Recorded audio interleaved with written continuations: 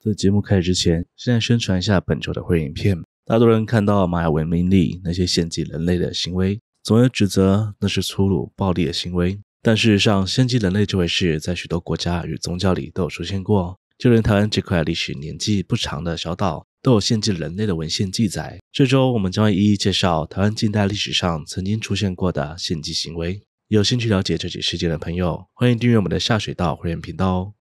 又到了零一几年的分享部分，不知道荧幕前的学生们是否仍在享受剩余的寒假时光，还是开始亡羊补牢，拼命的赶着寒假作业呢？那还是快点去写作业，免得老大徒伤悲。但如果是前者，然后又刚好 距离了人山人海的旅游胜地，也厌倦了一成不变的观光区吗？不如参考下今天的临界景点介绍吧。大家好，我是西哥。这是今天要带大家去参观旅游的诡异临界点——花莲三大诡异临界点。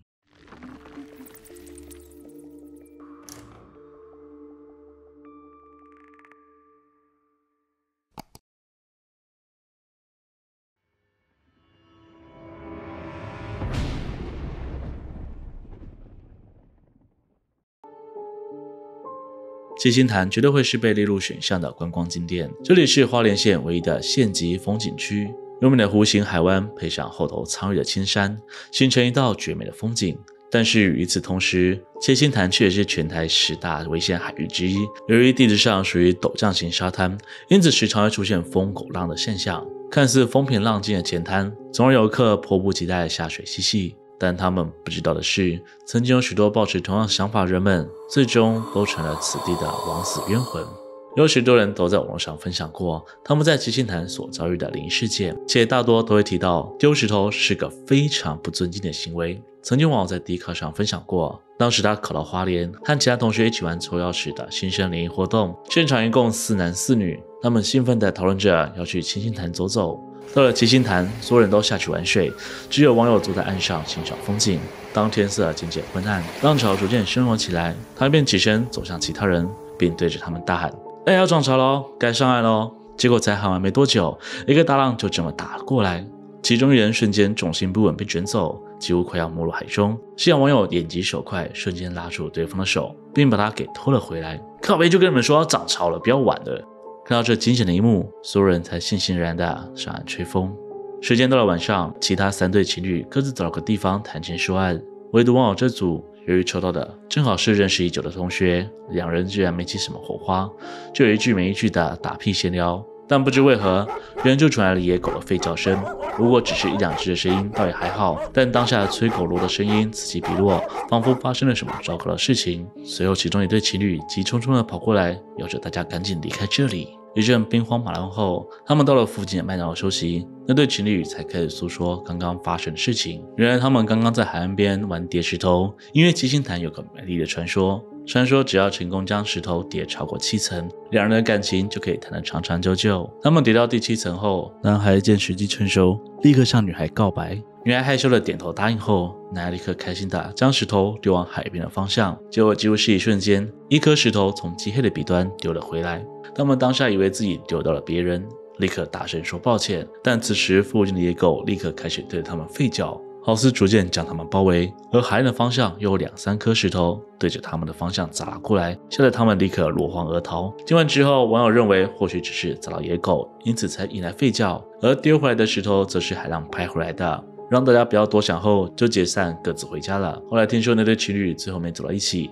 女生还是那场大病，自然也不了了之。这件事情就慢慢遗忘在网友的记忆里。直到几年之后，他带着后来交到的女友来七星潭走走，便才想起了这段经历，并随口询问女友要不要跟他一起去叠石头。只见女友淡然地转头看他，并说：“你不知道现在海滩上有一堆有的没的吗？一些在石头里面，一些站在岸上，还有一些漂在海里。”不要去打扰人家了。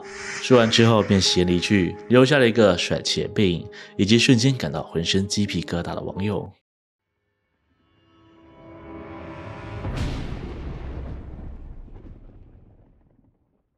若要论起花莲的美景，七七高地绝对是一个少有人知的绝美圣地。在被废弃以前，原本属于国军管制区，目前则由林务局管理。由于海拔高度七十七公尺，因此才被人称之为七七高地。虽然地势不高，但是上头景色优美。可以环景三百六十度看到周边的山与海，但正是因为前来此处的沿途会经过碉堡与废弃的军营，深夜若独自一人前来，便会体会到截然不同的毛骨悚然感。有位名叫舒娜娜的混血模特儿就曾经分享过自己的亲身经历。当时为了前往花莲拍摄照片，他找来荷兰籍的外国好友担任摄影师，而他们的其中一站便是现在所提到的奇奇高地。当他们跟随着当地导游来到高地上的废弃军营时，顿时被眼前那些荒废的建筑物吓了一跳，误以为自己来到了墓地。虽然导游笑着说不是，但仍然分享自己以前在这里撞鬼的经验。他说，当时带着另一团旅客来这里探险，出于恶作剧的想法，他躲到其中一个废弃建筑物里，本想假装消失来恶整别人。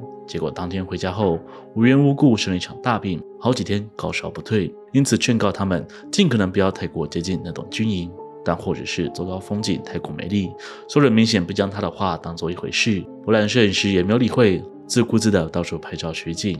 结果他们在花莲待到第三天时，摄影师突然发起高烧，甚至在意识恍惚之际还不停翻着白眼，逼得拍摄行程只能停下，立刻将他带往医院急诊。经过医生诊断后，认为这只是单纯的中暑，打个点滴之后就结束了。不过舒娜娜留了个心眼，一行人回到台北后，还是拖着摄影师到别人推荐的庙里拜拜。结果才刚踏进庙里，庙里的师姐便对他们说：“哎呦。”啊，你后面怎么跟了一整队军队啊？经过了解后才知道，那群看不见的军队是从殖民时期就在台湾的，无意间把摄影师认成自己生前的长官，才引来后续的麻烦。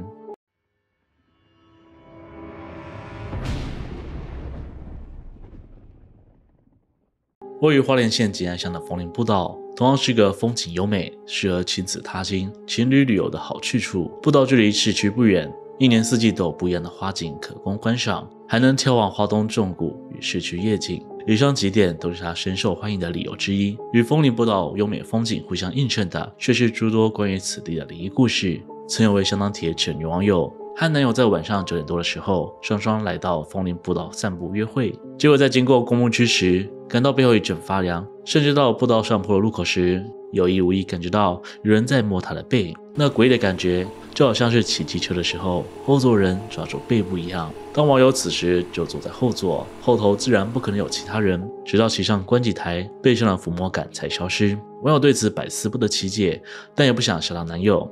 直到下山之后，才分享刚刚的情况。但即使抚摸感消失，那股冰凉的寒意却没有消散。就算用最热热水洗澡，还是能感觉到一股凉意驱之不散。这才让他放下铁齿，上网询问众人该怎么处理。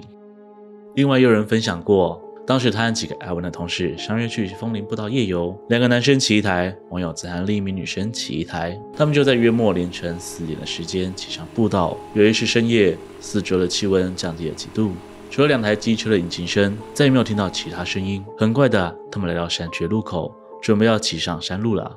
但这时，网友载着的那个女生用惶恐的语气对他小声说：“哎，我们不要再往上骑了，好不好？”我们才刚刚上山呢，啊，你抱着我不用怕啦。这时的网友完全忘记，那个女生本身就有敏感体质，会这样要求，必定是遇到了什么无形的干扰，依然神经大条的载着她上山。当他们骑到一条岔路上，右边的路听说会骑到一大片墓地，左边则会骑到风林步道，他们就停在那里讨论，是否要追求刺激骑向右边，还是依照原定计划前往左边。结果那女生突然大力摇晃网友，并用强势的语气大喊：“现在立刻下山，快点！”网友这时才意识到状况不对，呼喊另外两个男生后，一行人便果断掉头下山。他们停在了山下的便利商店，那女生就蹲在地板上舒缓头晕想吐的症状，直到情况好点，再跟其他人解释必须下山的理由。就在他们骑到路口时，他听到有个微弱的声音在耳边询问：“你们来干什么？”这顿时吓得众人冒起鸡皮疙瘩，并接着询问为何后续的反应更大。那女生则解释，为了不扫众人的兴，她便只好硬着头皮一同上山。但沿路的碎语声越来越多，有男有女，有老有少，几乎都在讨论他们来这里干嘛。而刚才压倒他的最后一根稻草，是当他们停车在草路上讨论时，他明显听到一个男生用十分愤怒且凄厉的声音大吼：“给我滚回去！”希望大家还喜欢今天奇哥导的景点安排，不知道各位旅客是否玩的快乐呢？如果可以的话，欢迎大家下方留言关于今日旅游内容的看法。喜欢的人可以投一支感谢，那对我来说是很大鼓励哦。如果喜欢的频道，请别忘了帮我订阅、按赞、分享，并且开启小铃铛，才不会错过最新的影片哦。我是奇哥，我们下次见。